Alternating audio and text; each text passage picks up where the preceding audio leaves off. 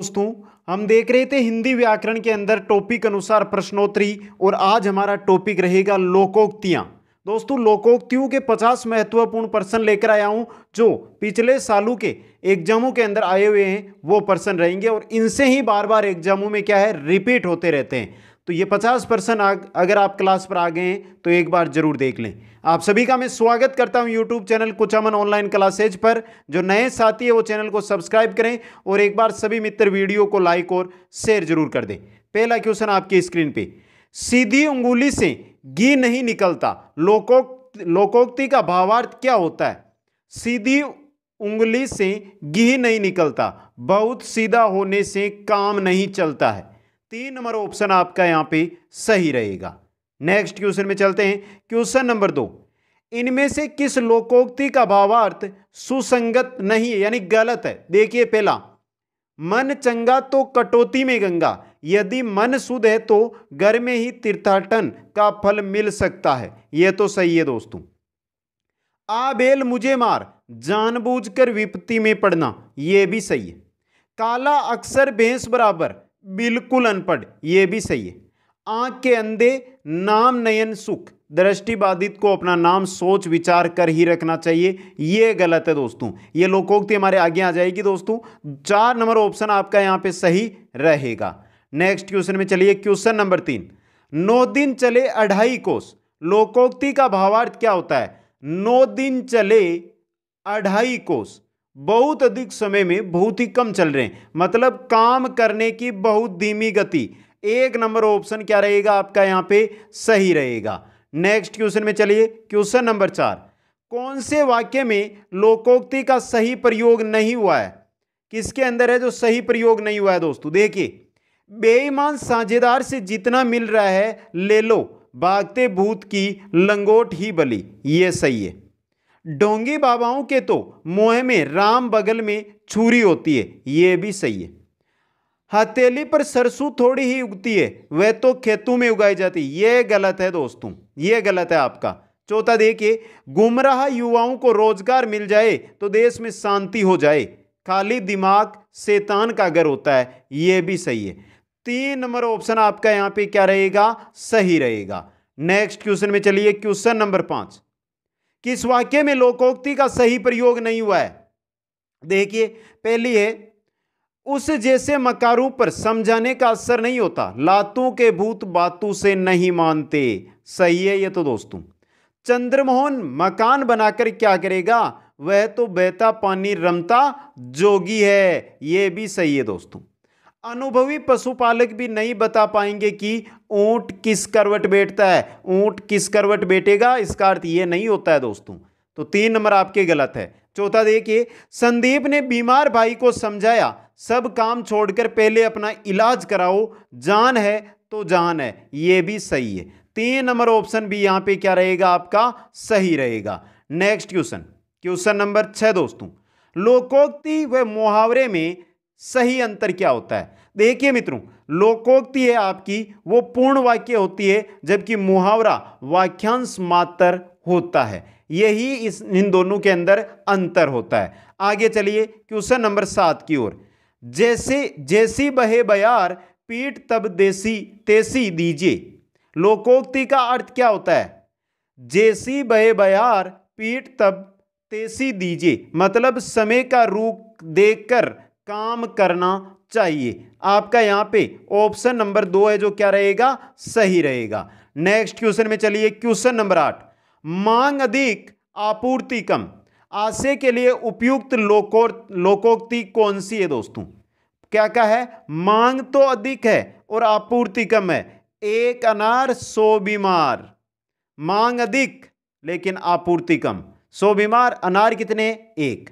चार number option सही रहेगा। क्वेश्चन नंबर नौ में चलिए। स्थिति दहनीय होने पर भी गमन न छोड़ना के लिए उपयुक्त लोकोक्ति है। स्थिति दहनीय होने पर भी गमंड न छोड़ना। मतलब रस्सी जल गई पर एटन न गई। रस्सी जल गई पर एटन न गई। स्थिति तो दहनी है, फिर भी क्या कर रहा है? गमंड कर रहा है। रस्सी जल तो पूरी गई, लेकिन फिर भी जो एटन थी वो उसके अंदर है दोस्तों। दस नंबर क्वेश्चन देखिए। घर में नहीं दाने, अम्मा चली बुनाने। लोकोक्ति का सही अर्थ क्या होगा? घर में नहीं दाने, अम्मा चली बुनाने। ना होने पर भी ढोंग करना। अब घर में दाने नहीं है, फिर भी अम्मा जो है बुनाने चलिए मतलब ना होते हुए भी क्या कर रही है? ढोंग कर रही है। ना होने पर भी ढोंग करना। आगे चलिए। क्वेश्चन नंबर ग्यारह। चिराग तले अंधेरा। लोकोक्ति का सही अर्थ होगा। चिराग तले अंधेरा, अपनी बुराई नहीं दीखना। दीपक के नीचे, जैसे दीपक है आपका, अगर दीपक के नीचे आप देखोगे तो यहाँ पे आपको अंधेरा मिलेगा, नीचे की तरफ़। मतलब चिराग तले अंधेरा, खुद की बुराई तो नहीं दिखती, दूसरों की बुराई दिखती है मतलब। आगे चलिए, क्वेश्चन नंबर बारह। निम्नलिखित में से लोकोक्ति का चयन कीजिए। इनमें से लोकोक्ति कौन सी है? दांत खट्टे करना मुआवरा है। अंगारे उगलना मुहावरा है। कोवा चले हंस की चाल, ये लोकोक्ति है मित्रों। तीन नंबर ऑप्शन आपका यहाँ पे क्या रहेगा? सही रहेगा। क्वेश्चन नंबर तेरह में चलिए। निम्न में से लोकोक्ति चुनिए। इनमें से दम भरना मुहावरा है। टांग अड़ाना मुहावरा है। एक पंथ दो काज, ये आपकी लोकोक्ति है। तीन नंबर ऑप्शन यहाँ पे क्या रहेगा? सही रहेगा। नेक्स्ट में चलिए। क्वेश्चन नंबर चौदह। लाख प्रयत्न करो, तब भी कुटिल व्यक्ति अपनी कुटिलता नहीं छोड़ता। अर्थ के लिए उपयुक्त वाक्य है। ध्यान से देखिए दोस्तों। लाख प्रयत्न करो, तब भी कुटिल व्यक्ति अपनी कुटिलता नहीं छोड़ता। कुत्ते की दुम बारह बरस नली में रखो तो भी टेडी की टेडी रहती है।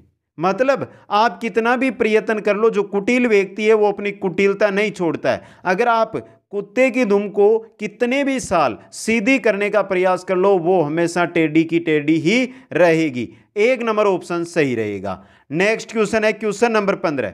अपराध किसी का दंड, किसी के को निकटतम अर्थ में प्रयुक्त लोकोक्ति है। ध्यान से पढ़ना, अपराध किसी का दंड, किसी के हाथ। मतलब खेत खाए गधा मार खाए जोलाहा। अपराध किसी का, दंड किसी को। अपराध किसी का, दंड किसी को मतलब खेत खाए गधा और मार खाए जोला। ऑप्शन तीन आपका सही रहेगा। क्वेश्चन नंबर सोलह में चलते हैं। सोलह नंबर, आठ कंजोए, नो चूल्हे। आठ कंजोए, नो चूल्हे। लोकोक्ति का क्या अर्थ होगा? आठ कनजोए और नो चूल्हे। मतलब अनाप शनाप उनके अंदर क्या है? फूट है दोस्तों। फूट होना। तीन नंबर ऑप्शन सही रहेगा। नेक्स्ट क्वेश्चन है, क्वेश्चन नंबर सत्रह। सावन सूखा न भादो हरा। सावन सूखा न भादो हरा। मतलब सावन भी सूखा और भादो भी न हरा। मतलब वो भी सूखा। सदा एक सीध, एक ही दशा में रहना। एक नंबर ऑप्शन आपका सही रहेगा। क्वेश्चन नंबर अठारह देखिए।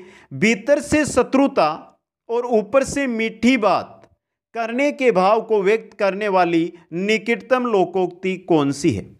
भीतर से तो शत्रुता दिखा रहा है। और ऊपर से मीठी बातें कर रहा है। मतलब मोहे में राम, बगल में छुरी। चार नंबर ऑप्शन यहाँ पे क्या रहेगा? सही रहेगा। नेक्स्ट में चलिए क्वेश्चन नंबर नो। नो है सॉरी उन्नीस नंबर क्वेश्चन है। जिन खोजा तीन पाइया, जिन खोजा तीन पाइया, गहरे पानी पेट, लोकोक्ति का निकटतम सही अर्थ क्या होगा? संकल्पशील व्यक्ति कठिन परिश्रम द्वारा लक्ष्य प्राप्त कर ही लेते हैं। जिन खोजा तिन पाइया गहरे पानी पेट, संकल्पशील जो व्यक्ति होते हैं, वो कठिन परिश्रम द्वारा अपना लक्ष्य प्राप्त कर लेते हैं। आगे चलिए, क्वेश्चन नंबर बीस में देखिए। हाथी के पाँव में सबका पाँव। हाथी के पाँव में सबका पाँव।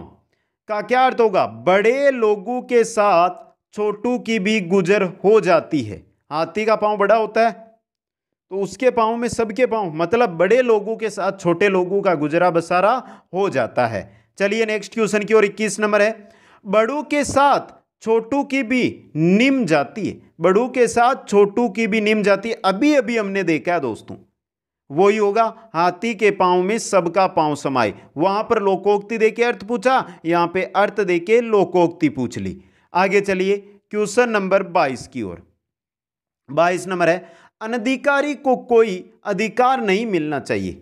अनधिकारी को कोई अधिकार नहीं मिलना चाहिए। अर्थ हेतु उपयुक्त लोकोक्ति कौन सी है? खुद गंजे को नाखून न दे। तीन नंबर ऑप्शन क्या रहेगा? आपका यहाँ पे सही रहेगा। नेक्स्ट नेक्स्ट क्वेश्चन है हमारा तेईस नंबर। लोकोक्ति का युक्ति युक्त अर्थ है। किसमें है दोस्तों? ग्राम सेवक एग्ज़ाम में आया हुआ क्वेश्चन है ये। पहला देखिए, रुपया तो सेक नहीं तो झूला रुपया तो सेक नहीं तो झूला रुपये से रुपया पैदा होता है, ये तो युक्ति अर्थ नहीं है। घर ही के मर्द हैं, घर ही के मर्द है मतलब घर के ही मर्द, बाकी जगह मर्द नहीं, डरपोक आदमी, ये सही हो गई आपकी। दो नंबर ऑप्शन क्या रहेगा यहाँ पे? सही रहेगा। क्वेश्चन नंबर चौबीस देखिए, इमली के पात पर दंड पेलना, इमली के पात पर दंड पेलना मतलब सीमित साधनों से बड़ा कार्य करने का प्रयास। करना। नेक्स्ट क्वेश्चन में चलिए क्वेश्चन नंबर पच्चीस। काजी जी दुबले क्यों? शहर का अंदेशा है। काजी जी दुबले क्यों? शहर का अंदेशा है। लोकोक्ति का सटीक अर्थ क्या होगा? दूसरों के कष्ट से चिंतित रहना। काजी जी दुबले क्यों? शहर का अंदेशा है मतलब दूसरों के कष्ट से चिंतित रहना। नेक्स्ट में चलिए, छब्बीस नंबर क्वेश्चन किस क्रमांक में सही अर्थ नहीं दिया गया? पहला देखिए। हाथ कंगन को आरसी क्या? हाथ कंगन को आरसी क्या? मतलब प्रत्यक्ष को प्रमाण क्या? सही है ये तो। शाम छछुंदर की गति होना। शाम छछुंदर की गति होना। मतलब डर जाना, ये तो गलत है दोस्तों। दो नंबर ऑप्शन आपका यहाँ पे सही रहेगा। सावन हरे ना बादो सूखा। हमेशा एक जैसे रहना सही है। लिखे ईसा, पढ़े मूसा। न पढ़ने योग्य लिखा लिखावट ये भी सही है। दो नंबर ऑप्शन यहाँ पे सही रहेगा। क्वेश्चन नंबर सत्ताईस अपनी पगड़ी, अपने हाथ। लोकोक्ति का सही अर्थ है, अपनी पगड़ी, अपने हाथ।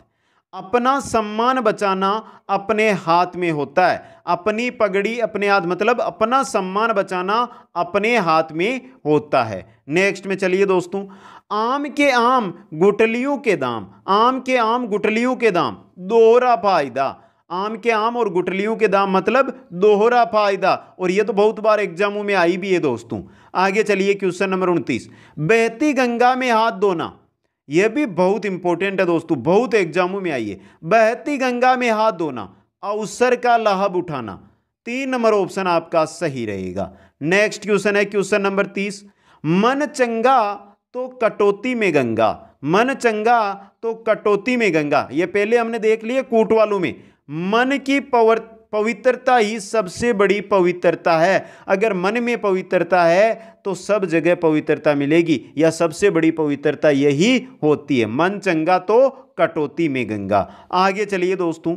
बगल में चोरा देश में ढिंडोरा बगल में छोरा, देश में ढिंडोरा लोकोक्ति का निम्नलिखित अर्थों में से सही अर्थ का चयन कीजिए। बगल में चोरा, देश में ढिंडोरा वस्तु के पास में होने पर भी दूर दूर तक उसकी तलाशी करना। मतलब छोरा तो बगल में और देश में उसको ढूंढ लिया। आगे चलिए। बत्तीस नंबर लोग, क्वेश्चन है हमारा, कुछ न कुछ बुराई सब जगह होती है। अभिप्राय की वाचक लोकोक्ति कौन है? कुछ न कुछ बुराई सब जगह होती है। काबुल में क्या गद्दे नहीं होते? ये होगी दोस्तों सही आपकी। काबुल में क्या गद्दे नहीं होते? यानी कुछ ना कुछ बुराई आपको हर जगह मिलेगी। क्वेश्चन नंबर तैतीस। अरहट की टट्टी, गुजराती ताला। अरहट की टट्टी और गुजराती ताला। लोकोक्ति का उपयुक्त अर्थ क्या होगा? कम मूल्यवान वस्तु की सुरक्षा हेतु अधिक खर्च करना। एक नंबर ऑप्शन आपका सही रहेगा। क्वेश्चन नंबर चौतीस देखिए। काम बिगड़ जाने के बाद यानी पश्चाताप करना व्यर्थ है। जब काम बिगड़ गया, उसके बाद पश्चाताप करना व्यक्त है। हेतु उपयुक्त लोकोक्ति कौन सी है? अब पछताए होत क्या जब चिड़िया चुग गई खेत?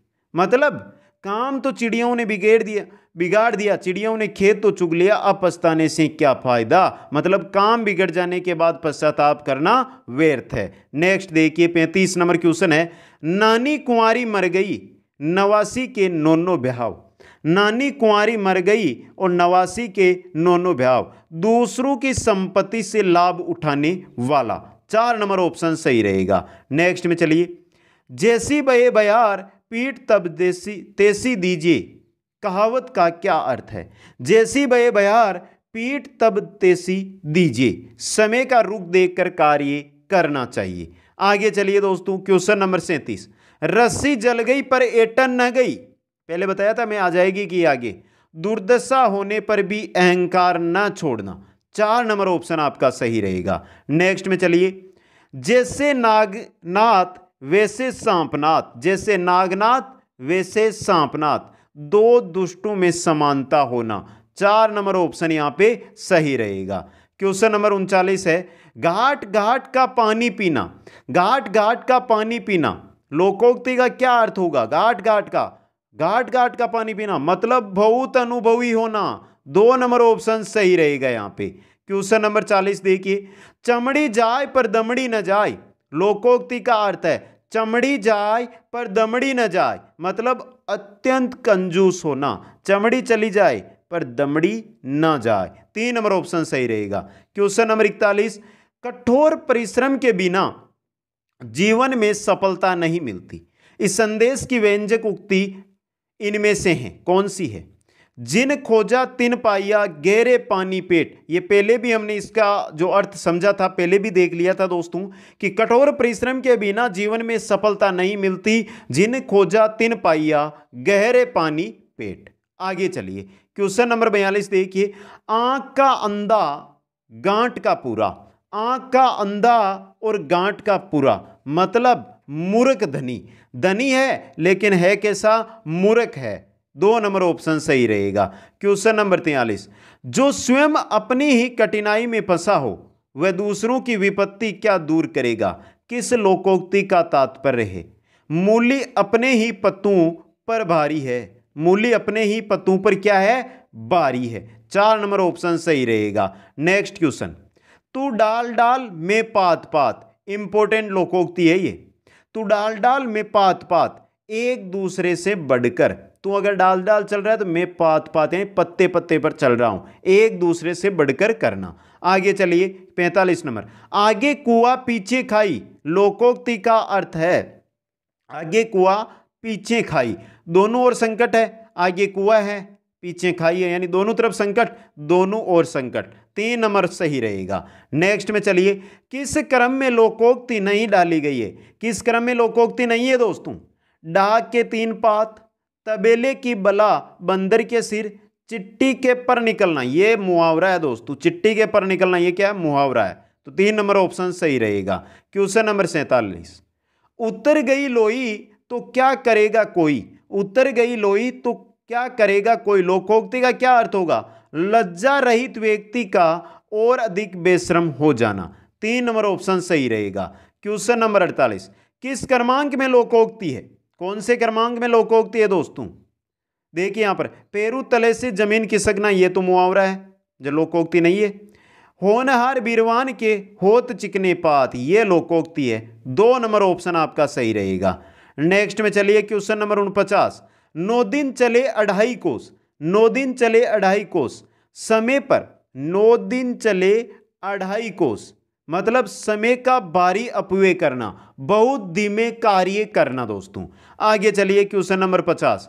खोदा पाड़ निकली चुईया खोदा पाड़ निकली चुईया मतलब आपने खोदा पाड़, मेहनत तो बहुत की, फल बहुत कम मिला आपको। तो परिश्रम अत्यंत और प्राप्य अत्यल्प। दो नंबर ऑप्शन सही रहेगा। क्वेश्चन नंबर इक्यावन है? घर का जोगी जोगना आन गाँव का सिद्ध। घर का जोगी जोगना आन गाँव का सिद्ध।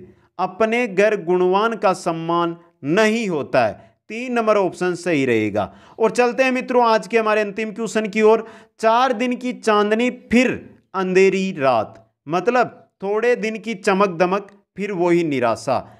तो दोस्तों ये हमने देखे लोकोक्तियों से रिलेटेड 2017, 18, 19, 20 में आए हुए बावन महत्वपूर्ण प्रश्न कैसे लगे? कमेंट करें। वीडियो को अभी तक लाइक शेयर नहीं किया तो मित्रों लाइक और शेयर कर देना। और नए साथी है, वो चैनल को ज़रूर सब्सक्राइब कर ले। आप सभी को बहुत बहुत धन्यवाद। जय हिंद, जय भारत।